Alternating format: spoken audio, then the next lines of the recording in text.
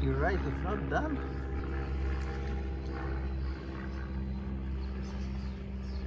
Time for coat